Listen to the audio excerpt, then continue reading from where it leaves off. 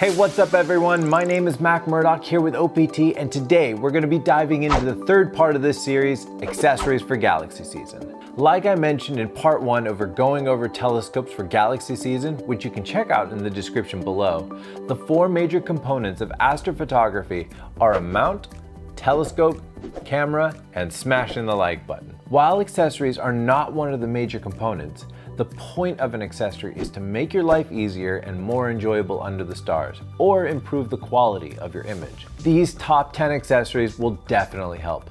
Stay to the end for some honorable mentions, and we got a big surprise for you. But first, we're gonna do a really quick poll. The first question is, do you do astrophotography? If the answer is yes, then go ahead right now and click the like button. Our second question is, do you enjoy astronomy or the knowledge of space? If so, go ahead and click the like button. Okay, third and final question. Do you feel that these videos could use more dragons? If so, click the like button and subscribe. These questions really help us understand what you guys want. All right, let's dive right on in. So the first one on our list is the QHY Polemaster. During galaxy season, you're probably gonna be using a really long focal length which makes polar alignment, balance, and guiding super important. Polar aligning is one of the most important steps out of the three, and you need to nail it down to get a good image. A Polemaster will help you perfectly polar align in under five minutes.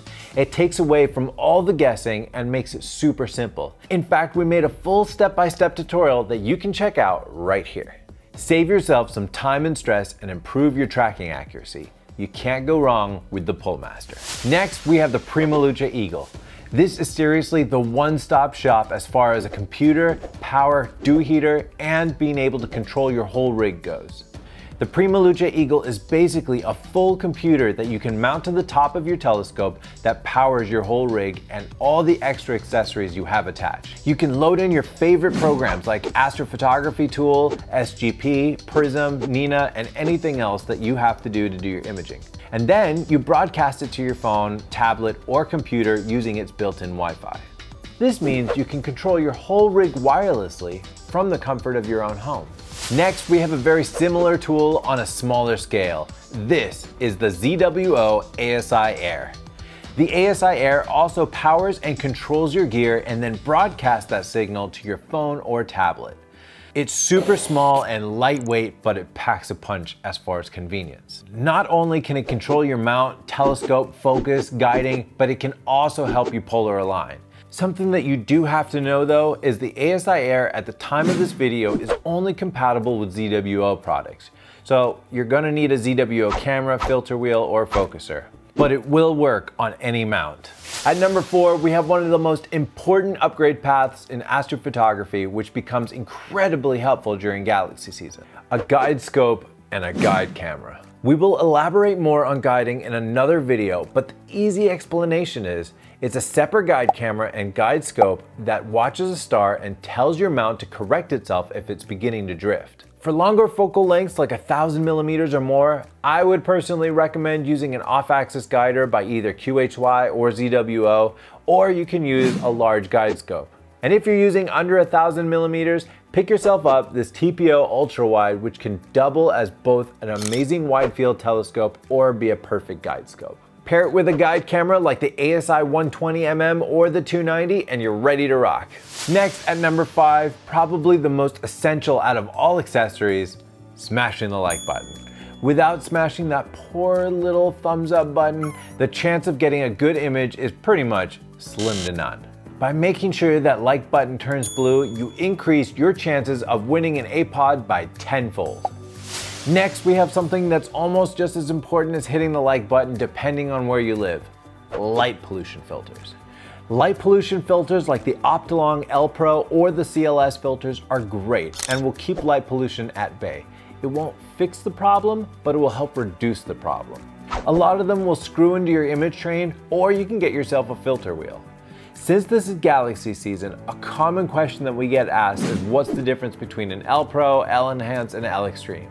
We'll make a full video on that in the future, so make sure you're subscribed. But for this video, the thing that you need to know is that the L Pro is the best for galaxies, and the L Enhance and L Extreme aren't bad either, but you're also cutting out a lot of the light spectrum that you actually want. Those two are best for emission nebulas. A problem that a lot of beginner astrophotographers deal with is finding your objects.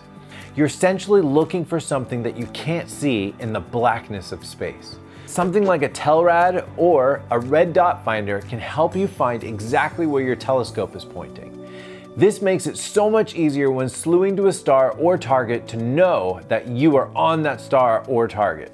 At number 8, we have a Bahtinov mask. These are pretty easy to use and will help by taking away the guessing on where your focus is. It's simple. You place the mask in front of your lens and your stars will turn into diffraction spikes. Just make sure that the middle spike is in the center of the crisscross spikes. And holy moly, artichoke, you are in perfect focus. Speaking of focus, that brings us to our next accessory, the electronic focuser. This is the easiest and most accurate way to make sure that you have the perfect focus all night. Focusers like the Radian Focuser, the ZWO EAF, the Primaluce Sesto Senso, or the Pegasus Focus Cube can all be controlled through your imaging software and set to refocus throughout your night. For example, when your temperature changes, your telescope will expand or contract and your focus will change as well.